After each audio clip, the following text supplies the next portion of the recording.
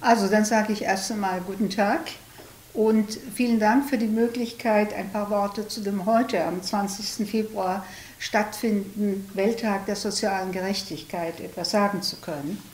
Dieser Tag wurde zwar erst 2009, äh, wenn ich recht unterrichtet bin, äh, im Rahmen der Vereinten Nationen ja, eingeführt, aber eigentlich die Thematik, um die es geht, die ist ja sehr, sehr viel älter, Jahrtausende alt.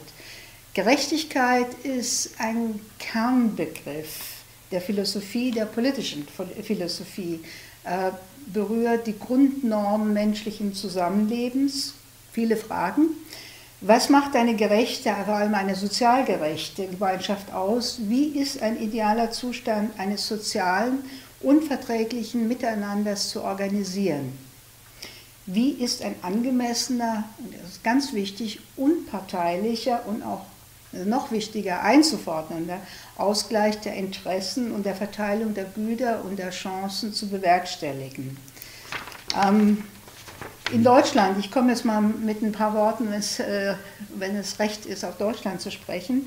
In Deutschland ist das Leitbild eines sozialen gerechten Staates im Grundgesetz verankert, also ganz genau in Artikel 20 Absatz 1, das sogenannte Sozialstaatsgedanke.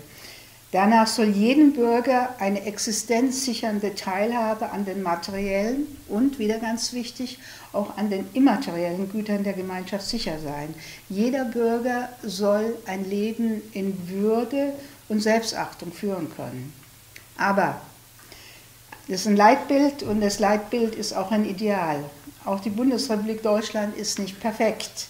Äh, auch wir haben noch vieles zu tun was nicht äh, ganz in Ordnung ist. Denken Sie an Kinderarmut, an die Chancengleichheit zwischen Männern und Frauen und auch an Defizite im Bildungssystem.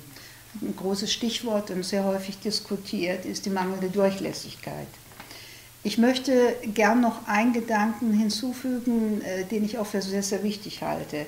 Und das ist nämlich ähm, Globalisierung, die ihrerseits auch wieder Herausforderungen stellt und auch das, Sozial, äh, das Ideal der sozialen Gerechtigkeit für neue Herausforderungen stellt und neue Fragen aufwirft.